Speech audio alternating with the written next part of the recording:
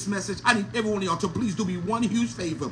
I need every one of y'all to please share this right now. And after you're shared it, just simply type in the comment section that I shared it. I'm gonna give you a minute and 15 seconds, you all. Come on, I need y'all to share this, y'all. This word needs to go global, y'all. Come on, come on.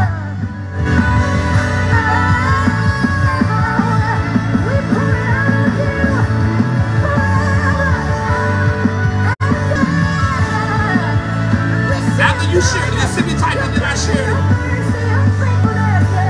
Come on, tag everyone you know. Tag them in, y'all. It's your breath Yes, it is. In my lungs.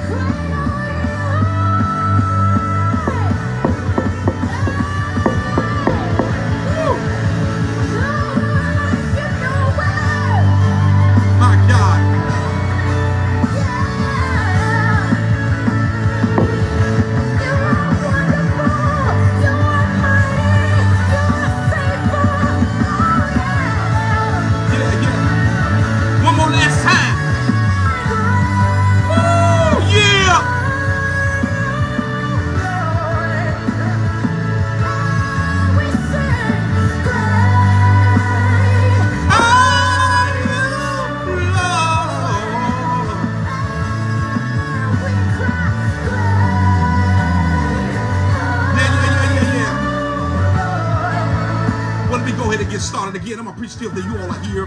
I don't take it for granted when people take out time in their busy schedule, their busy morning to hear what Pastor T has to say. For that, I say thank you.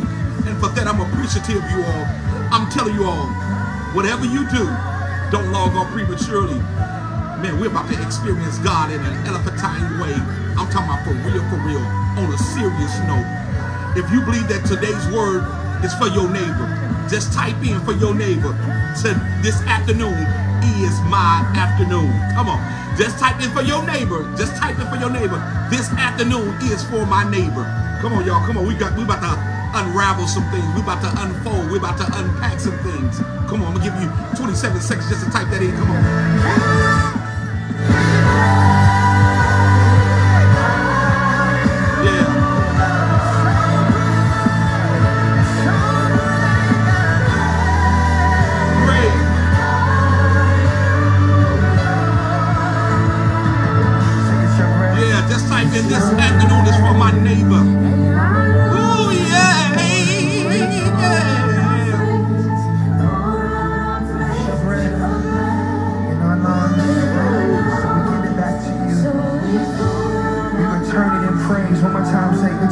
Well, let me go ahead and get started again. I'm appreciative that you all are here. Yesterday, I started this uh, this live, and and I was dealing with you'll never fit in, and, and identifying toxicity, and even identifying the spirit of dysfunction, not knowing that God was going to give me even more. So this morning, I was up at about two o'clock about three something, my daughter came down here and she said, Dad, what are you doing? I said, I'm studying to show myself approved. And so she laughed and went back upstairs. And, and so I've been, you know, been studying concerning uh, toxicity and even the behavior of uh, dysfunction. But it also has to do with us not fitting in. So I'm going to say to you all, buckle up because we're about to experience God in an elephantine way. We're about to get some revelation. We're about to put some identification on some things and some behaviors that we've been trying to figure out but have not figured it out. But we're going to figure it out today. So since yesterday, God has really been showing me the spirit of toxicity and the dysfunctional spirit. He said, Terrence, when you don't identify a spirit, that spirit has the ability to live longer than it should. He continued. He said, they'll never respect you if you keep giving them chance to disrespect you. Let me say that again. He said, that spirit will never respect you if you keep giving it chances after chances to disrespect you. And for that reason alone, this is why when Jesus cast out demons, he always identified demonic influences or the spirit that was ruling or that is ruling. I believe one of the reasons why most churches, businesses, and even relationships are destroyed because we haven't been able to identify the spirit that's been wreaking havoc. Without proper identification, there can be no proper deliverance. Let me say that again. Without any proper identification, there can be no proper deliverance. The toxic spirit can be very draining and very overwhelming. That spirit knows how to drain both your mental and even your emotions. I don't want to take it for granted that all of us know the meaning of toxic. So I want to first start there. According to Webster, the word toxic, T-O-X-I-C, is described as poisonous. That was the only word in the dictionary that described the word toxic. The, the definition of toxic is poisonous. However, the hallmark of toxic behavior is that it frequently keeps off keeps on off balances through its inconsistency by let me show you how it- it- it's the hallmark of toxic behavior. I'm going to identify it in three in three areas. One is deflecting blame or responsibility. Two by playing on the goodwill or the guilt of others Three, or by outright gaslighting, making others feel as if they are the dysfunctional ones. Let me give you that three again on the, the hallmark of toxic behavior. One, by deflecting blame or responsibility. Two, by playing on the goodwill or the guilt of others. Three, or about outright gaslighting, making others feel as if they are the dysfunctional ones. Oftentimes, the first step towards dealing with effective with a negative spirit in your life is simply gaining the confidence to call it out and call it what it is, which is toxic. If you allow, if you follow the life of Jesus very carefully, you'll notice that Jesus didn't deal with spirits. And if he and if a spirit was in his sphere, Jesus called it out by name. And this is the problem that we're facing in our society today and even in our churches. We're keeping spirits alive by brushing them under the rug. I am convinced of this very thing. Without any confrontation, there can be no there can be no solution. Let me say this again. Without any confrontation, there can be no solution. I need about seven people. Remember, you're, you're talking to your neighbor. You're identifying with your neighbor. Just type in for your neighbor. I have to confront it. Come on. Just type in for your neighbor. Just type in, I have to confront it. Come on, come on, come on, come on, y'all. Come on, come on. We getting ready to, come on. This word needs to get to Baghdad. It needs to get to Ukraine. This word needs to get to New York. It needs to get to Utah, but most importantly, it needs to get to your house. Come on. I need y'all to help me spread this word here because we're getting ready to identify this spirit real big. Somebody just type in for your neighbor. I have to confront it. So look at this now. If you follow the life of Jesus, Jesus had a confrontational anointing. And having a confrontational anointing doesn't mean that you're not saved or that you're mean spirited. It simply means you're not going to play games with the devil and you're not going to allow that spirit to play in your face. Because if you allow that spirit to play in your face without dealing with it, it will grow. And in most cases, if, if, if you're growing and you don't deal with it, that spirit has the ability to duplicate itself and raise up more toxic people in your sphere, which will cause your environment to be uneasy and the last place you should feel uncomfortable is at a place where you're going to be, where you're going to frequent at all times. The term toxic people comes dangerously close to attaching judgment to individuals and not just the behavior that is exhibited. Toxic is a spirit and not just a behavior. Come on, someone just type that in the comment section. Toxic is a spirit and not just a behavior, which means just because it attaches itself to you or has become a part of your trait and even a part of your character doesn't mean that it's healthy or that it was sent by God. Usually individuals who has toxic behaviors is usually derived from past trauma or underlying mental disorder that cries out for treatment, not harsh condemnation. That is not a rational for ignoring or enduring the effects of a toxic person in your life. It simply is a reminder to safeguard basic human value and your dignity. Even the most challenging people among us, while at the same time learning to protect yourself. How many of us know if you keep allowing the same spirit to attack you, after a while, that spirit is going to think that it's okay to do what it's doing or that you're okay with its treatment of you. I need somebody just to type again. You're gonna be a, you're gonna have the pen of a ready writer again today. Just type it, I must confront it. Come on, come on, I need y'all to just to type it again. Just type it, I must confront it. Come on, come on, come on. We're gonna deal with this toxic behavior. We're gonna deal with this dysfunctional spirit because that's hindering you from getting to your next. And that could possibly be the reason why some of us can't fit in. Come on, Come on, I need everyone just to type in, I must confront it. Look at this. When you're dealing with the spirit of toxicity, you have to recognize it and even acknowledge that you have a problem with it. Because if you don't recognize it or even call it out on the carpet, that spirit will dominate you, that spirit will intimidate you, and even that spirit will even manipulate you. And when that happens, the only person that will suffer will be you. Not only will you suffer when you don't deal with that toxic behavior, your peace is compromised, your happiness is compromised, and even your joy is compromised.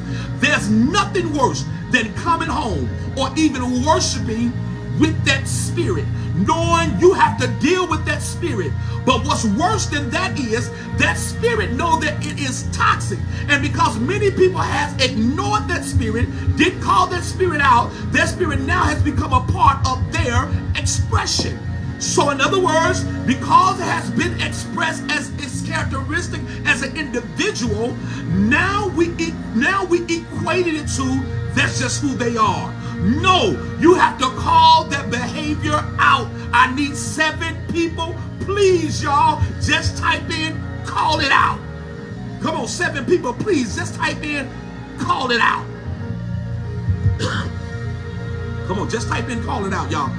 Come on, are we here for today? Just type in, call it out. Look at these three things, these five things that I, when you call it out. No healthy relationship will cause you to feel. I need y'all to be typing real fast because I'm getting ready to tell you five things that is no relationship should cause you to feel this way. Look at this now. One, no relationship should cause you to feel physically or emotionally drained after spending time together. That's number one. Let me repeat it again. No healthy relationship should cause you to feel one, physically or emotionally drained after spending time together. Number two, you shouldn't feel reduced in confidence in yourself or enjoyment of your life when you're hanging around toxic people. Number three, you shouldn't feel guilty for not doing more to solve their problems. Number four, you're confused about the boundaries or the belief that you have set in place because of the toxic spirit now makes you feel bad about their behavior. And because you're uncomfortable with their actions and their behavior, now that spirit want to make you think that you are abnormal because you, you're making a stance. Number five, you shouldn't feel frustrated that your needs, your thoughts, and your feelings don't matter. I need about seven people. I told y'all we're going to do a lot of typing today. Seven people. You're not typing for yourself today. You're typing for your neighbor. So seven people, just type in God wants me free. Come on. Seven people, just type in God wants me free. Come on. Seven people, just type in God wants me free. As a matter of truth, God wants us so healthy. He wants us prosperous and at peace. And if those three things are compromised, it's time to reevaluate the relationship. Third John 2 said, I wish above all that thou prosper, be in good health, even as our soul prosper. There are three components in that passage of scripture that the writer is conveying to us. He said, I wish above all that you prosper. So in other words, he wants you to prosper in your health, he wants you to prosper financially, and he wants you to prosper in your relationship. So if those three things are compromised, your health, your finances, and your relationship are compromised, then there's a great chance that you're not going to live a happy life. You're not going to live a joyful life because your atmosphere has been compromised to so to the point that now you can't live because someone is dictating how you should live. I don't care how long you've been together, how long you've been in a relationship, your peace, your happiness, your joy comes first. Let me say that again. I don't care how long you've been in any form of relationship, your peace, your happiness, your joy comes first. And if those things are compromised, then the relationship need to be reevaluated or the individual of the spirit must be called out. The reason why most of us don't feel like we should call things out or people out because we think that it's not spiritual. We think that it's not godly. Man, you must have not read your Bible because if you would have read your Bible, you would have found out and would have read that Jesus was very confrontational. Jesus didn't care about hurting people's feelings. He called Peter, he called Peter Satan. As a matter of fact, Jesus got so, so, so graphic that he called them vapors. You don't get no worse than calling someone a vapor. He said, you vipers? He called them vipers. He, he called them Satan. I'm saying, man, Jesus, he, he, sometimes Jesus just, I said to myself, man, Jesus just, uh, he was a gangster. That's what I said. That's the conclusion I came up with Jesus. He was a gangster because Jesus didn't care about your feelings because Jesus understood I'm not dealing with feelings, I'm dealing with spirits. And see, that's the problem that most of us are having right now. We are afraid to confront people because we're afraid that we're going to hurt their feelings. You're not dealing with their feelings, you're dealing with their spirit. For the Bible says we wrestle not against flesh and blood. So in other words, that lets me know that I'm not going to ever confront a, a, a person. I'm going to confront the spirit that's operating in a person. And see, this is the reason why most of us don't see results because most of us, we're confronting people, but we're not confronting the spirit that was in them. What did the Bible say when Jesus, when they was getting ready, the sons of Sceva, when they was, when, when someone tried to, tried to cast them out, they said, Paul we know, Jesus we know, but who are you? So in other words, demons recognize not only the authority in your life, but Jesus, but demons even recognize the power that you possess. And see, that's the problem. The reason why most of us are not being successful and we keep dealing with toxic people and dysfunctional people because we're dealing with them. We're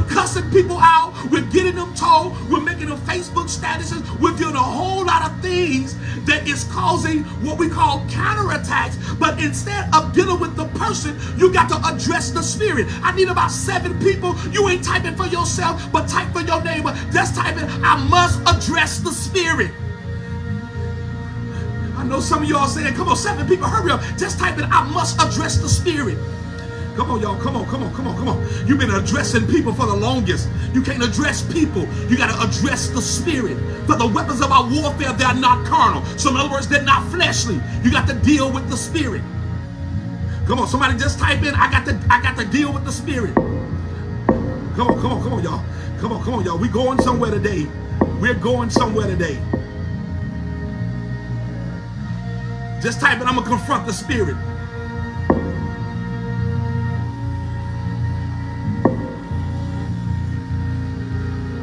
You must address the spirit.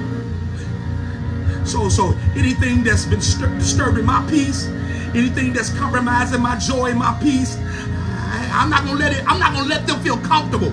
You're not gonna feel comfortable knowing that you have interrupted my sleep, interrupted my joy. As a matter of fact, according to Matthew chapter number 26, verse number 53, I have legions of angels that are assigned to me. And because I have legions of angels assigned to me, which mathematically speaking, I got 72,000 angels that are assigned to Terrence Dexter Hazard Sr. So what I'm gonna do is, instead of me worrying all night on how you interrupted, disrupted my peace, I'm gonna dispatch me a legion of angels to go to your house to interrupt your sleep, to disturb you, to make you feel like, man, you're not gonna be comfortable in my presence or you're not gonna have a good night's rest because you are interrupting my peace. And so what I'm gonna do, angels, go on assignment now disturb them because they have disturbed me and so in the meantime you're gonna be disturbed because i have now did things in order i'm not gonna stay up all night doing something that i got angels to do now let's unpack this spirit for a moment and let's disguise its display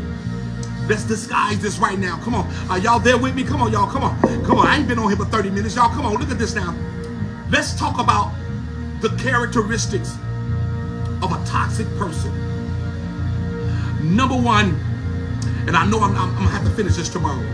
A toxic spirit is a deceiver. Come on, I need someone to please put that in the comment section. A toxic spirit is a deceiver. Come on, someone just put that in there. A toxic spirit is a deceiver. So look at this now. Let's talk about the deceiver for a moment. Whenever you're dealing with a deceiver, you're dealing with a liar. And whenever you're dealing with a liar, you're dealing with someone or the spirit that can never be trusted. As a matter of fact, the Bible records, I need y'all to write this scripture down. The Bible records in Psalms 101, verses 7 through 8. Someone please put this put this scripture in the comment section. Psalms 101, verses 7 through 8. Look at what the word of God talks about a deceiver. It says, He that worketh, if you notice in the word worketh in the in the King James Version, is TH, which means it's a continuation.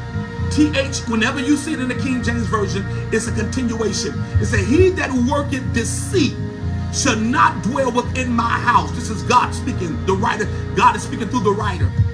He says, He that telleth the lies He that telleth lies shall not tarry in my sight. Verse number eight. He says, I will early destroy all the wicked of the land, that I may cut off all the wicked doers from the city of the Lord. So here you have the writer making a strong truth. He's speaking on behalf of God. He's making a strong statement in saying that a liar won't even tarry in his sight. So in other words, what God is saying he won't even have time to even have a conversation with a liar because he already know that he's going to lie while he's trying to have a conversation with him. So in other words, Jesus is saying, I ain't got time to hear your excuses. You show me who you were. You show me who you are. Go straight to hell and do not pass go. So, so, so, so in other words, Jesus is not going to even toy you with that spirit on the day of judgment. And when you're dealing with a deceiver, you have to understand that they are a compulsive liar. And a compulsive liar has one mission, and that's deceive you into making you think that the representative that they're representing to you is real. But at the end of the day, they'll never change, especially if they're not seeking deliverance. And in most cases, because their spirit has been like that for a long time, it has now convinced itself that their behavior is acceptable. Have you ever heard some people say this about certain people that got toxic traits, toxic characteristics? Oh, that's just who they are. They've been like this for a long time. So in other words, we have succumbed to accepting that their behavior is okay. No, no, no, no. You cannot just allow people just to get around here being mean-spirited. You can't allow people to get around here just acting like acting like 10 wild dogs and, and sum it down and say they're just who they are. At some point, you got to have a confrontation anointing to know how to deal with that spirit. A deceiver, watch this now. A deceiver, deceiver lies destroys a crucial component of any relationship, which is trust. So when the trust is broken, my God, when the trust has been broken in any form of relationship, I'm not saying that it's, it, it can't be restored. But when you have broken someone's trust with your toxic behavior, and especially when you have not repented, have not acknowledged it, that relationship will never ever return back to its original place. Because the the the the the, the, the, the victim, I mean uh, the, the, the predator think that because this is who they are or because they've been operating like this for a long time that it's okay that relationship will never be what God has intended for it to be. Once you catch wind, look at this now. Once you catch wind of deceit with a deceiver, look out. Come on, I want to expose that spirit. Once you catch wind of a deceit of a deceiver, look out. Their mission is to now make your life hell. Why? Because now you've called them out. And in most cases, when you call out someone's spirit, they usually hook up with spirits that are kindred. Can I say that again?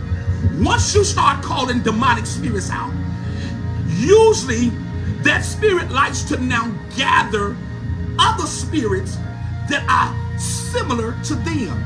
Now you have to remember, those spirits didn't like each other because guess what? Two strong spirits can't get along.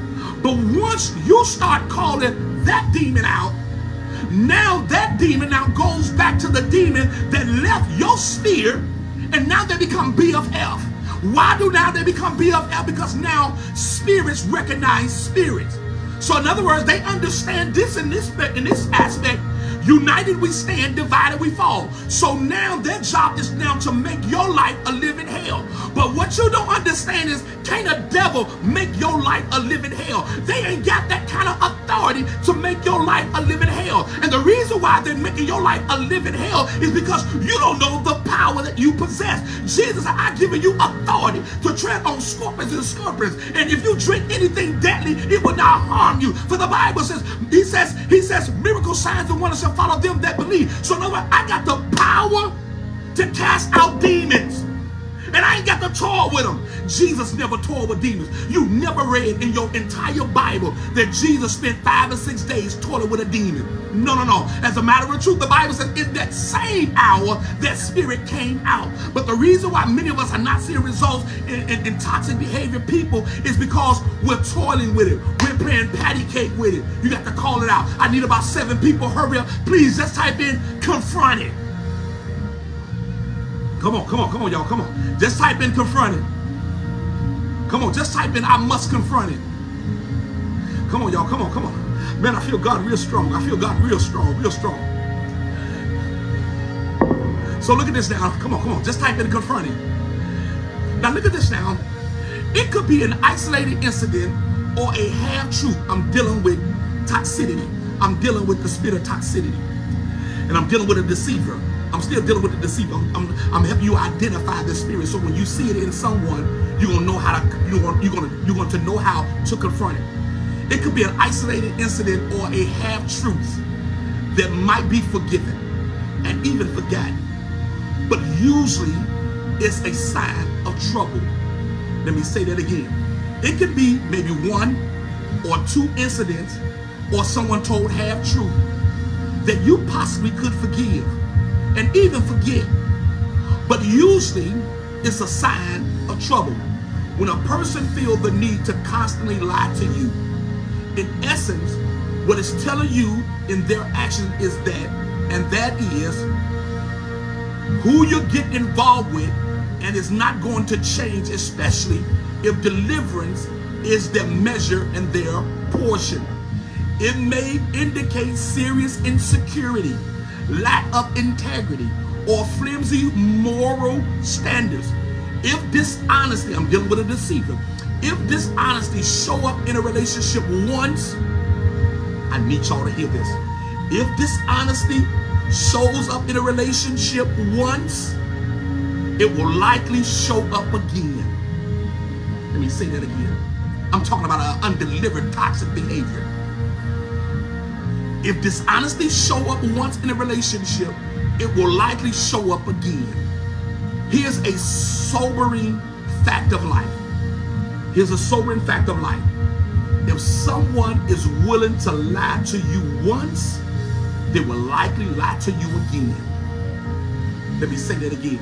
If someone is willing to lie to you once, they will lie to you again. The reason why they'll lie to you again, because of one of one of few things, is because there has not been no accountability set up in place. I don't care how much you love them. If they have betrayed your trust, you, they have to earn your trust. Trust is not given, trust is earned.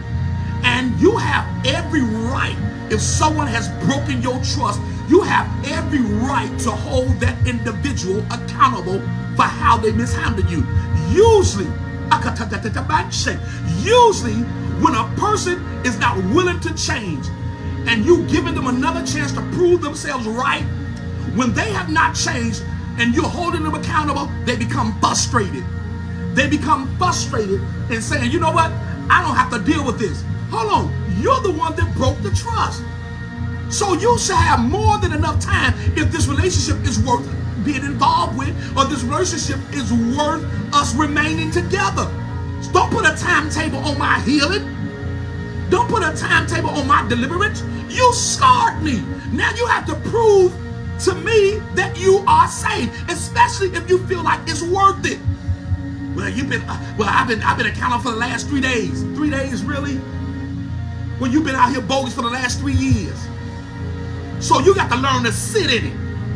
Look at your neighbor. Look, type for your neighbor. Learn to sit in it. Come on. Just you type it for your neighbor. Just type in learn to sit in it. Come on. I'm still dealing with a deceiver. Just type that in. Learn to sit in it. Come on. Come on. Come on, y'all. Come on. Come on. Don't put a timetable on my deliverance. For real. So look at this now. People who are willing to lie in one situation or with one person will find it easier to lie to another context.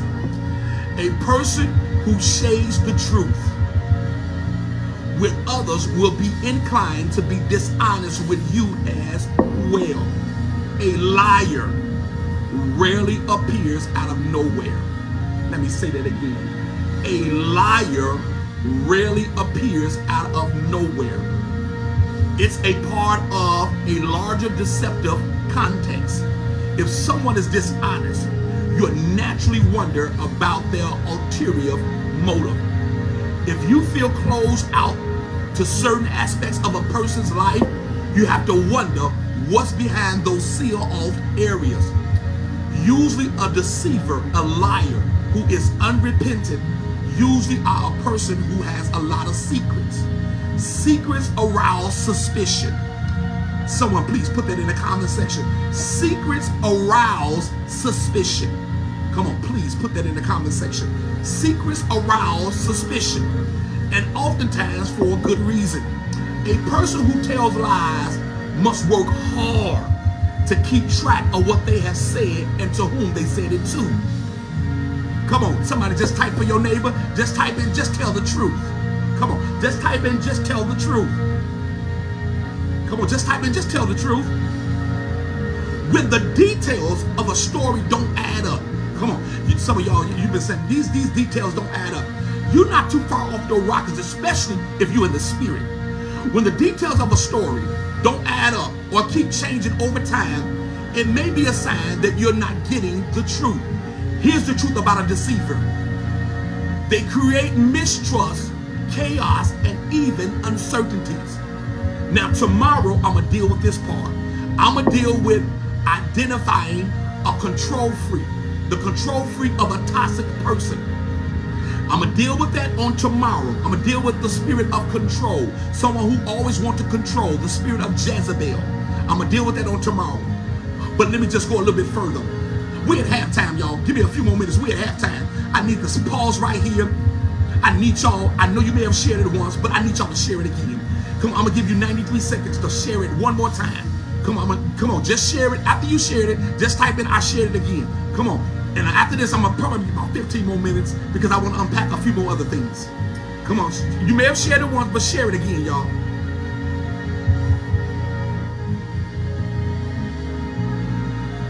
Come on, come on. Father, we thank you You got 93 seconds. Come on. Thank you for this amazing opportunity just to pour out our worship to a God that loves us, to a God who's made out of no way.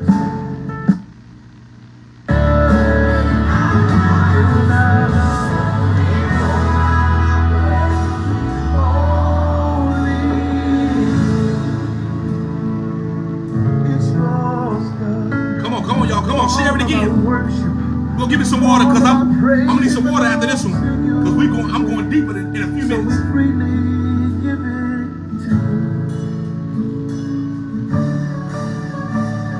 So all the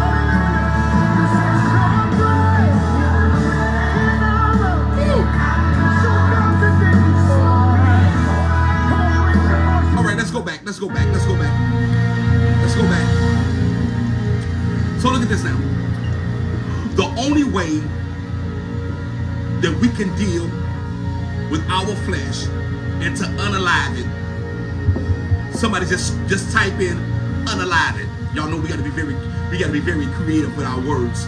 Just type in unalive it. allow me to say this. If you're going to experience a metamorphosis in your life, we need to understand that intense warfare is inevitable. As we've always heard, that something worth having is worth fighting for. And that's the same frame of mind we must have concerning our deliverance and even our inner healing. You have to understand when changes is inevitable, you have to prepare yourself mentally that you're going to experience some sleepless nights, possibly.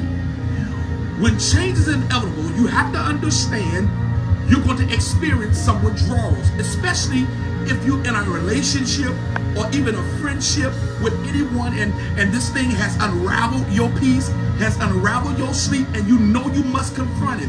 There's going to be some chances that your sleep is going to be disturbed because no one wants to really confront someone that you really love but it's necessary to confront them in order for the relationship to be healthy. Now, if you want to continue in, in being hurt, being wounded, walking on eggshells in a friendship or a relationship, then it's okay. But how many of us know that you're not really your organic self, you're not really your real self if you got to walk on eggshells in a relationship or even a friendship? When changes is inevitable, you have to understand you're going to experience some intense battles in your mind. But at the end of the day, it's all about how bad do you want it. Again, many of us, we won't change, but we won't change with limitations. And many of you all, you've gone through in the courses of years, is layers to your deliverance and even your inner healing. And just like an onion, many of us, we have layers of dysfunctions that is attached to us. Many of us, we have layers of rejection, we have layers of hurt, we have layers of letdowns. For many of y'all, the process may take longer for you than it may take longer for your neighbor. Let me prove my point. Let me give y'all, y'all know I like to give y'all real life applications, right? Last year, uh, I was celebrating my birthday and um, I consider myself a landscaper. Never landscaped a day in my life, but I just figured, oh, let me just let me just save myself some money.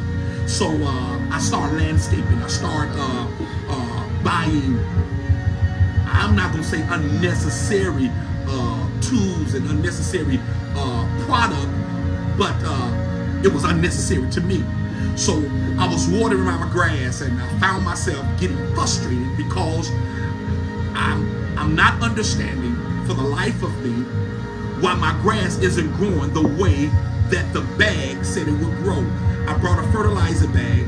The fertilizer bag said that it's going to take uh, seven days for the grass to grow, even dead grass.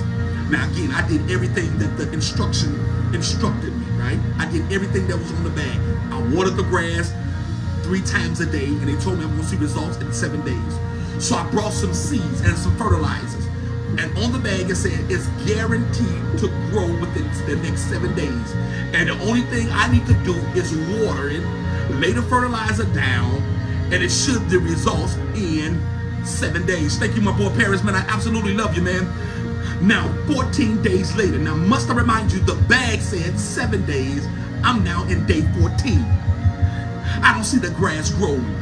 All I see is muddy waters. So in the midst of my frustration, I sat down in my chair and God began now to minister to me because God sees that I'm, I'm wasting my time. I'm not an expert in this in this in this particular area. So God begins to minister, minister to me about this grass growing thing. He said, Terrence, this is not just for me, but this is for about eight of you all right here. If you're one of the eight, just type it, I need to hear this. Come on. If you're one of the eight, just type it, I need to hear this. Come on, come on, come on, y'all. Y'all need to hear this, y'all. This is what God gave me.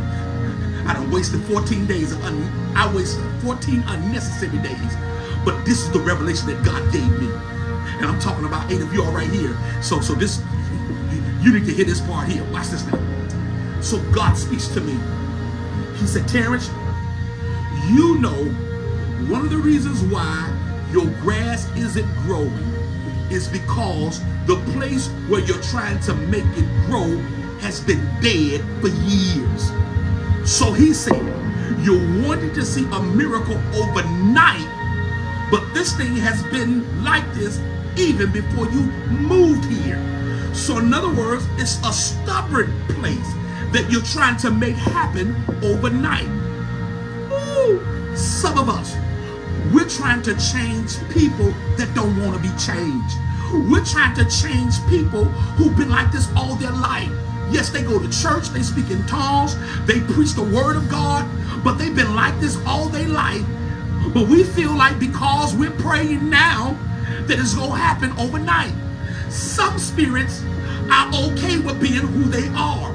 So in other words, what did what, what did they say uh, when Jesus was getting ready to confront a demon? They said, uh, "Leave us alone. Uh, we have nothing to do with you.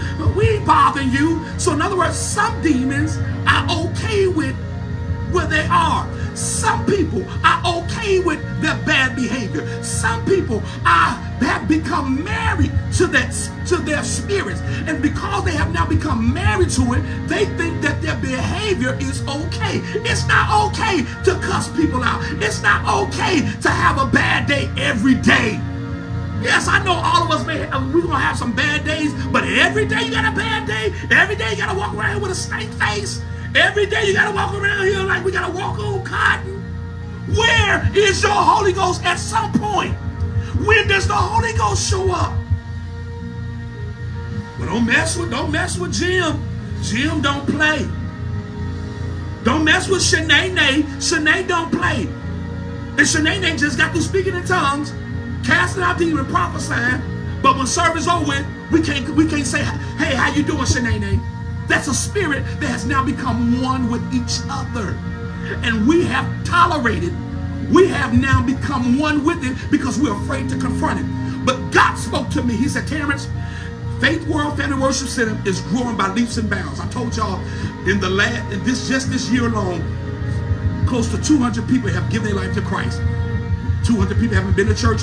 I ain't got nothing to do with that. 200 people have given their life to Christ in our church up to the day this right to this day. And God says, Terrence, I'm getting ready. I'm supernaturally growing your church by leaps and bounds. He said, but the foundation of this ministry must be built on righteousness, holiness, and love. But in order for it to be built on righteousness, holiness, and love, you got to confront the spirits that are lingering inside the, this inside this, this this inside. So which means that when you see a thing, you just can't shout over it. You got to confront it. So in other words, you just can't speak in tongues over it. You got to confront it. Because if you don't confront it, it's just like the Bible said, let the wheat and the tail grow together. Jesus gonna do the separation. So in other words, this is what I'm doing now in this season. The wheat and tail have grown together, and now God said, now it's time to confront it. And when you confront it, you're going to see who's really for you and who's really against you. Because if they're really for you and you call their spirits out, they're going to seek deliverance. But if they have now become married to their spirits and married to that demon, and you confront them, they get an attitude and leave, that means that they were never went for you. That means that they were a part of the tail group. so he said to me, secondly, the reason why you're not seeing results because this is not your expertise. Because you know nothing about growing grass. One form of treatment isn't going to cut it. So he said, what you need to do is call professionals or the people that are cutting your grass on a regular basis.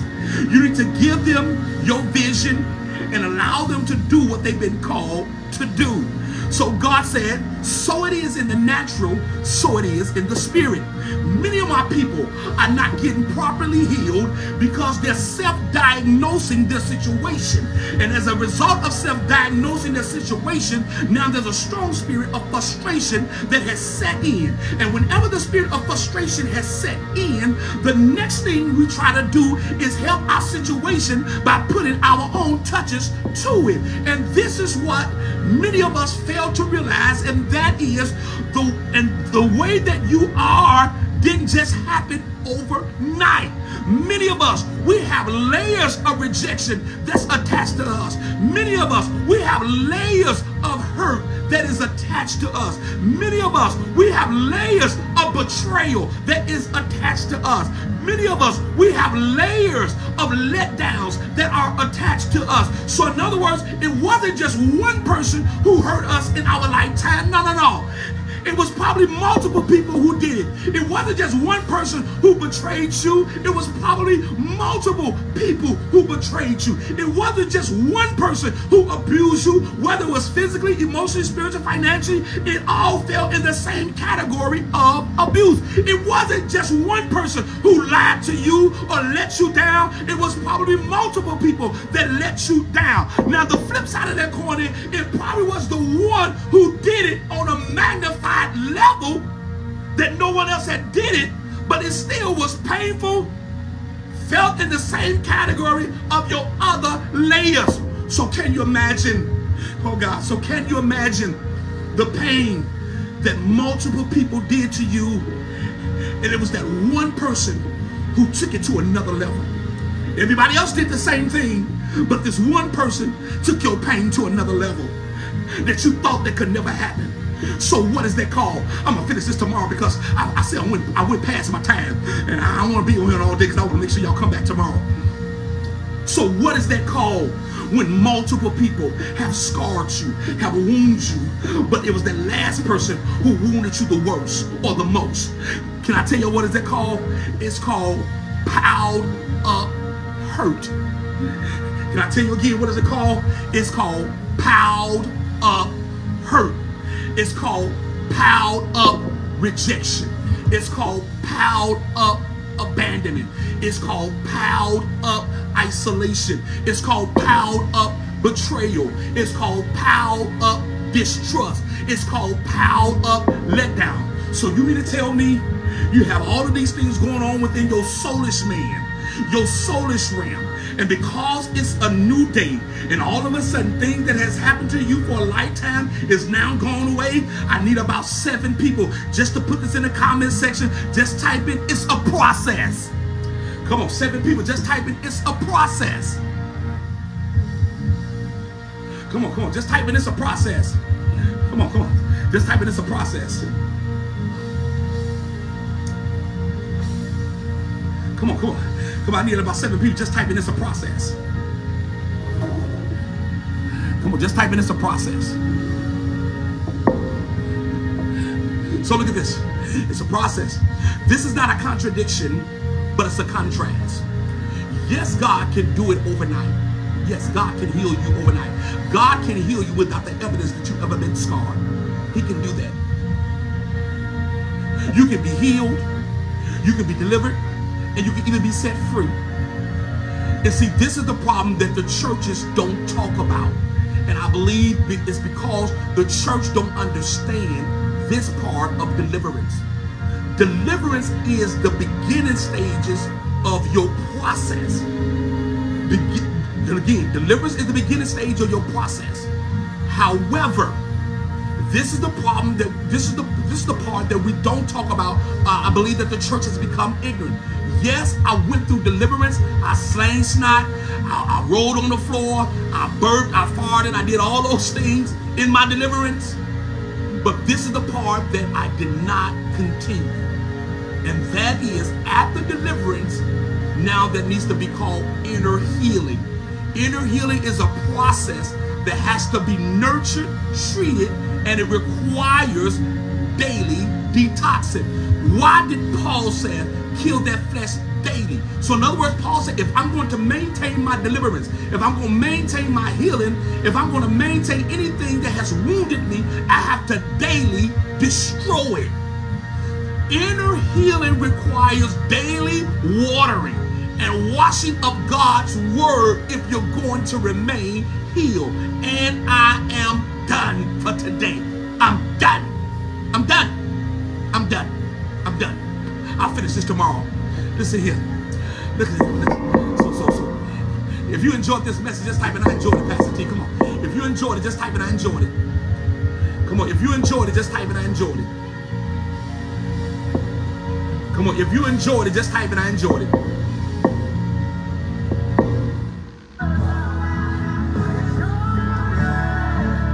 If you enjoyed it, just type it I enjoyed it. Hallelujah.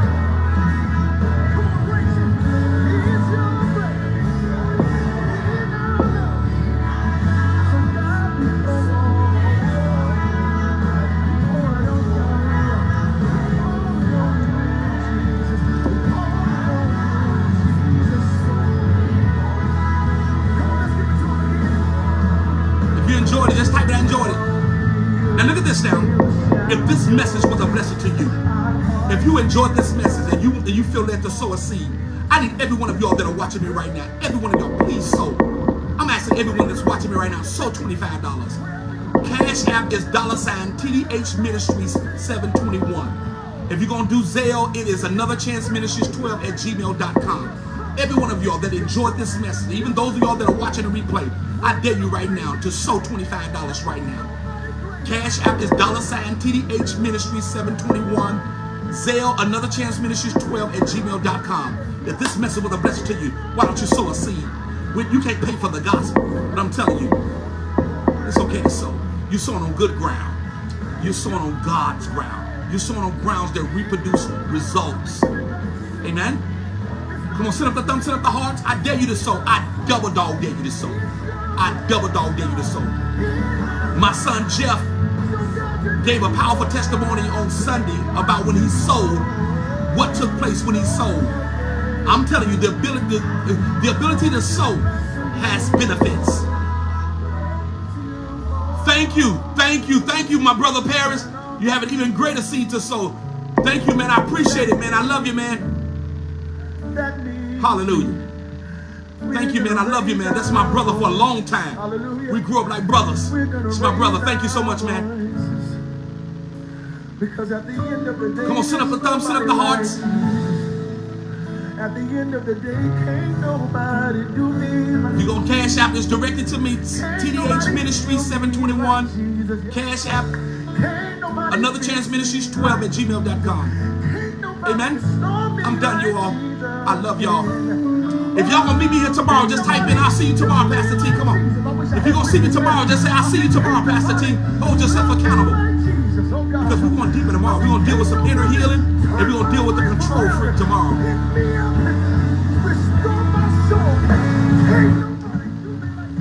I need you to raise up your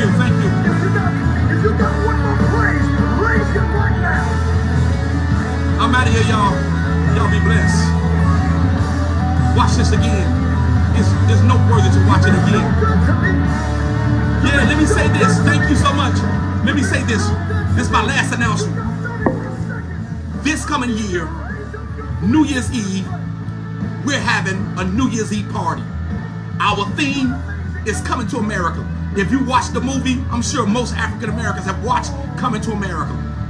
This year, we're having Coming to America. Again, this every year we sell out, but this year is going to be extremely special. Do something different. Make this New Year's Eve, I mean, really good this year.